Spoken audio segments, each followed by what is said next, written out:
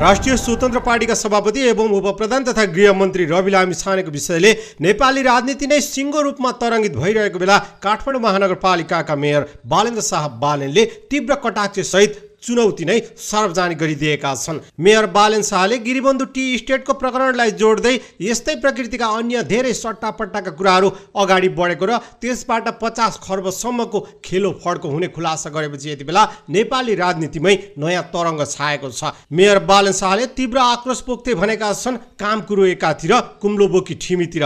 गिरिबन्धुलाई जग्गा सट्टा भर्ना गर्दै बेच्न दिने भनेपछि अरू एक सयभन्दा बढी कम्पनीहरूले गिरिबन्धु जसरी नै हदबन्दी छुट र सट्टापट्टा पाउनुपर्ने भन्दै हजारौँ बिघा जमिन बेच्न पाउने निवेदन हालेका थिए। यी सबै कम्पनीहरूलाई हदबन्दी छुटको नीतिगत निर्णय गर्दा कम्तीमा पनि पचास खर्बसम्मको खेलोफडको हुने सम्भावना र आकलन गरिएको छ। सर्वोच्च अदालतको एउटा फैसलाले अहिले जसरी निवेदन दिने कम्पनीको खेलमा केही धक्का लागेको छ तर बिचौलियाको गिरोह र नीतिगत तहमा बसेर निर्णय गराउनेहरू भने खुलेआम राजनीतिक शक्ति केन्द्रमा रहेका छन्। उनीहरूको स्वर घटेको छैन कानुन नै परिवर्तन गर्न कुरेर बसेका छन्। यदि त्यस्तो भयो भने राज्यले खर्बौँ रकम अपचलनको ढोका खोलिदिन्छ जुन रकम राज्यसँग हुने हो र सदुपयोग गर्ने हो भने दस हजार मेगावाट बिजुली निस्किने आयोजना बन्ला।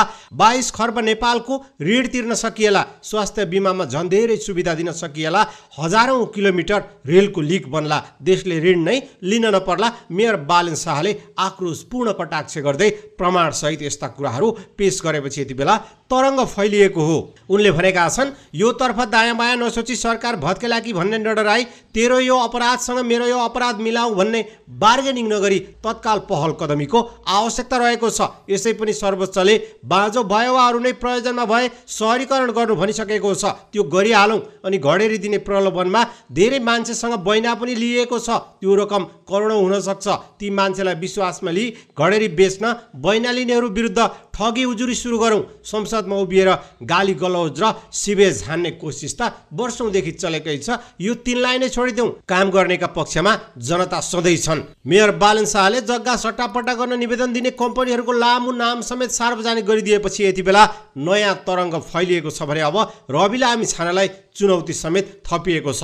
पछिल्लो समय संसदमा देखिएको नौटङ्की र बार्गेनिङको बारेमा सम्पूर्ण नेपालीहरू यति बेला चकित मात्र परेका छैनन्। लाज मर्दो दृश्य नै हरेक दिन संसदबाटै सार्वजनिक भइरहेका छन्। नेपाली काङ्ग्रेसले लामो समयदेखि संसद अवरुद्ध गरिरहेको छ भने हिजै मात्र राष्ट्रिय स्वतन्त्र पार्टीका सभापति एवं गृहमन्त्री रवि लामी छानेले चेतावनीपूर्ण स्पष्टीकरण समेत दिएका छन्। भर्खरै मात्र प्रधानमन्त्री पुष्पकमल दाहाल प्रचण्डले पनि चर्को नाराबाजीका बिचमा संसदबाट विश्वासको मत समेत लिएका छन्। नेपालको राजनीतिमा पछिल्लो समय भएका गतिविधिलाई हेऱ्यौँ भने साँच्चै यति बेला लाज पनि लजाउँछ। यही क्रममा मेयर बालेन शाहले कसैले कसैको भ्रष्टाचारको फाइल खोलिदिउँ भनेर बार्गेनिङ गर्ने धम्क्याउने भन्दा पनि पचासौँ खर्ब बराबरको हिनामिना हुन लागेको कुराहरूलाई सही सदुपयोग गरेर त्यसमाथि कारवाही बढाइयो भने नेपालको सर्वाङ्गीण हित हुन्छ भनेर दिएको सन्देशलाई सम्पूर्ण नेपालीहरूले यति बेला साथ र समर्थन दिएका छन्। सदन अवरोध गर्ने मान्ने सदस्यहरूलाई पनि मेरो कुरा छोटो कुरा सुन्न म आग्रह गर्न चाहन्छु। सायद नेपालको इतिहासमा नेपालको इतिहासमा म त्यस्तो प्रधानमन्त्री बन्ने अवसर मलाई प्राप्त भयो जो सोह्र महिनामा नै चौथो पटक विश्वासको मत लिन परोस्। पहिलो पटक पहिलो पटक मैले विश्वासको मत लिँदा झन्डै यस सम्मानित सदनको शत प्रतिशत मत मैले प्राप्त गरेको थिएँ। दोस्रो पटक विश्वासको मत लिँदा मैले अहिले अवरोधमा रहनुभएका मान्य सदस्य समेतको मतका आधारमा विजयी भएको थिएँ। तर आज म नितान्त भिन्न परिस्थितिमा एकपटक फेरि विश्वासको मतको लि निम्ति उपस्थित भएको छु। हामी नेपाली इतिहासको अलि विशिष्ट अवस्थामा राष्ट्रको प्रतिनिधित्व गरिरहेका छौँ। कतै न कतै एउटा भाष्य बनाइँदैछ कि अब यो देश बन्दैन। प्रधानमन्त्रीका रूपमा सुरुदेखि नै मेरो जोड यो गलत भाष्यका ठाउँमा देशमा जसरी पनि आशा जगाउन पर्दछ जगाउन सकिन्छ किनकि आशाहीन देश अन्तत भविष्यहीन हुन्छ। यो सम्मानित संसदको साथ र सहयोगमा सरकारले सबै क्षेत्रमा आशा जगाएको छ। करिब सत्र महिना अघि अत्यन्त सङ्कटग्रस्त भनिएको अर्थतन्त्रमा अहिले ठोस सुधार सहित नयाँ आशा जागेको छ। पछिल्ला दिनमा विश्वविद्यालयहरूबारे छलफलसम्म हुन छाडेको थियो। त्यहाँ मेरिटका आधारमा नियुक्ति हुन थालेपछि एउटा नयाँ आशा जागेको छ। लगानी सम्मेलनमा हामीले स्वदेशी र विदेशी लगानीकर्ताको विश्वास धेरै हदसम्म जितेका छौँ। व्यवहारिक र नीतिगत सुधारमा सरकारले लिएको अग्रसरताले लगानीकर्तामा सकारात्मक भाव र प्रभाव पैदा गरेको छ। कतारका अमिर जापानका विदेश मन्त्री लगायतका उच्चस्तरीय भ्रमणबाट राष्ट्रको प्रतिष्ठा र अन्तर्राष्ट्रिय आयाम फराकिलो भएको छ। जलवायु परिवर्तनमा अब नेपालले पर्वतीय देशहरूका तर्फबाट विश्वव्यापी नेतृत्व गर्दैछ। पर्यटक आगमनमा कीर्तिमान कायम भएको छ। रासायनिक मलदेखि पाठ्य पुस्तकसम्म अभावका समाचार अब इतिहासका विषय बनेका छन्। नागढुङ्गा टनेल र सुनकोशी मरिन टनेल ब्रेक थ्रुले जनतामा आशा र भरोसाको एउटा नयाँ आयाम थपेको छ। सम्माननीय सभामुख महोदय योभन्दा ठुलो आशा अहिले सुशासनका क्षेत्रमा जागेको छ। पछिल्ला दिनमा लोकतन्त्र कता कता नेतातन्त्र जस्तो देखिँदै गएको थियो। राजनैतिक नेतृत्व कानुनभन्दा माथि भएको वैचारिकी बनिरहेको थियो। त्यसले समग्र व्यवस्थामाथि नै अविश्वास बढाइरहेको थियो। तर भुटानी शरणार्थी ललिता निवास बाँसबारी बाल मन्दिर सुनकाण्ड लगायतका प्रकरणमा सरकारको निर्भीक र निष्पक्ष कारवाहीले जनतामा लोकतन्त्र त्यसको शक्तिप्रति ठुलो भरोसा जागेको छ।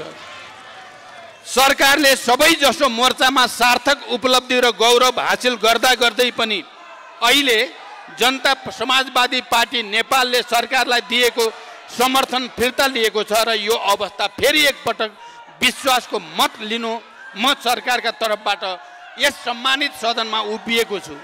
सुरुदेखि निरन्तर सहयात्राका लागि जसपा नेपालप्रति पनि म धन्यवाद व्यक्त गर्दछु। सरकारलाई समर्थन वा विरोधको उसको राजनैतिक अधिकारको पनि म सम्मान गर्दछु। तर राष्ट्रका चुनौतीहरूको सामना गर्न फेरि पनि मिलेर अगाडि बढ्न पनि म आग्रह गर्न चाहन्छु। सम्माननीय राष्ट्रपतिज्यूले नीति तथा कार्यक्रम पेस गरिसक्नु भएको र बजेटको छलफल चलिरहेको अवस्थामा म यो सार्वभौम संसदको लामो समय लिन चाहन्न।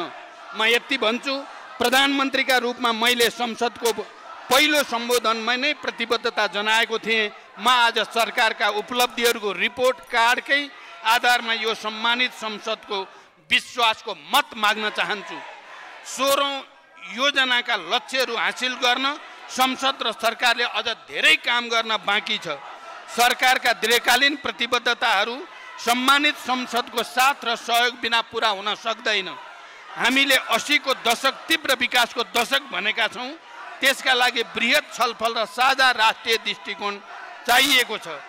भारत र बङ्गलादेशसँग विद्युत व्यापार सम्झौता भइसकेको र चिनसँग पनि निर्यातको सम्भावना बढिरहेको बेला गेम चेन्जर ठुला विद्युत आयोजनामा धेरै काम गर्न बाँकी छ। समष्टिगत आर्थिक परिसूचकहरू सकारात्मक भए तर अर्थतन्त्रलाई पूर्ण गतिशील बनाउन सरकार र संसदको एकीकृत अभ्यास आवश्यक छ।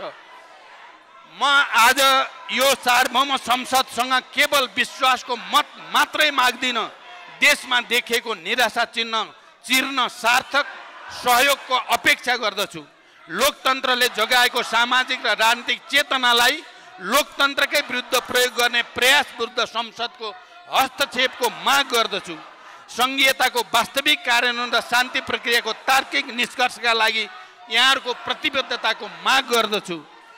नागरिक राज्यसँग ठोकिने सबै बिन्दुमा शासकीय सुधारका लागि म कृत सङ्कल्पित छु।